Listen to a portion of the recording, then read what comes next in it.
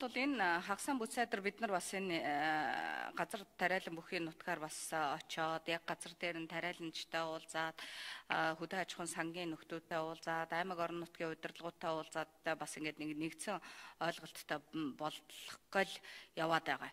Гагцгүй нөгөө тоо баримтууд нь бүгдээрнгийнх нь зөрөөд зөрөөтэй юмнууд бас харагдаад байна л да. Энд чи жишээлбэл яг мэрэгжлийн хяналтын зүгээс бол яг газар дээр нь ажиллаад тухайн тухайн үедээ хичнээн ургац авсан одоо цаашдаа хичнээн үртэй байх боломж олцоотой гэдгийг нь газар дээр нь тухайн тухайн аж ахуйн нэгжүүд дээр нь бас гаргаад ирчихсэн ийм нэг тоон статистик мэдээллүүд байж байгаа.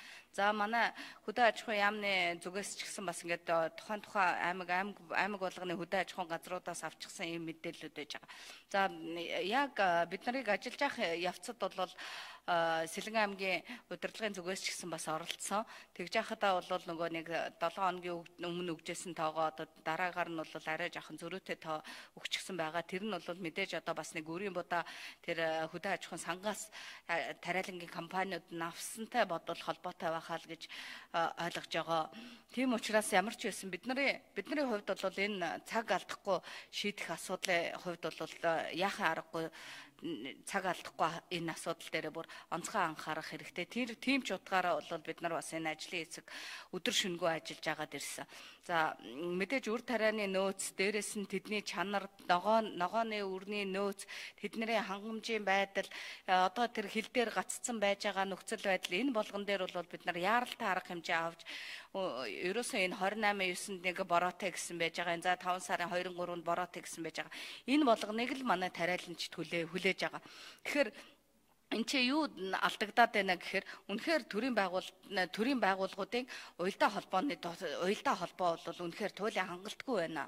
Тийм учраас л одоо бид нар яг өнөөдөр энэ чи бүрэн дүүрэн шийдвэрээ гаргаж чадахгүй гарц нь бол нэх их учиргүй ямар нэгэн байгууллагыг ямар нэгэн ажилтныг буруутгахтаа гол нь биш хамгийн гол нь ерөөсөө өнөөдөр тариаланчид үр тариагүй байна гэдэг чинь маргааш намар болоход бид нар Монгол Монгол төмөн маань бол талах талахгүй, борцоггүй, лавшааны гурилгүй, буузны гурилгүй болно л гэсэн үг. Тийм учраас л энүүн дээр бид нар нэгдсэн байдлаар нэг зөв дүгнэлт гаргаад ямар ажил арга хэмжээ хийх вэ? Ямар бусад аж ахуйн нэгжүүдээс хаанаас энэ нөөцийг бүрдүүл бүрдүүлж авах вэ? Яаж одоо энэ эргэлтийнхаа талбайг э, хамгийн их юм эрчимтэй зохион байгуулалтаа явуулж болох вэ гэдэг асуудлуудыг бид нар юуны төрөнд ярих хэрэгтэй байж байна. Энэ нэгдүгээр асуудал. Хоёрдугаар асуудал бол одоо мэдээж одоо энэ 150 тэрбумыг бид нар газар дээр нь ажиллаж байхад тэр тариаланч тэр ногооч тэр ерөөсөл зогсоо зайгүй хүлээж байгаа юм маань бол энэ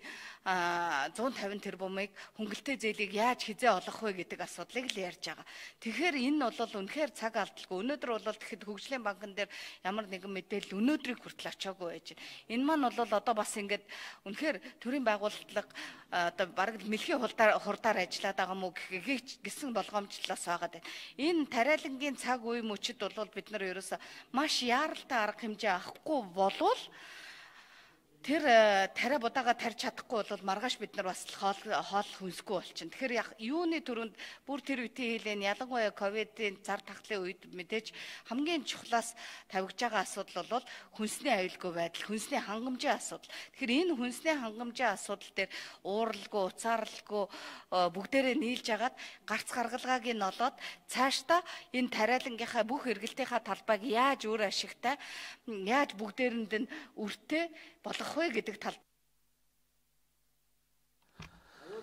За санд за санд хэлсэн гişүүд баярлалаа.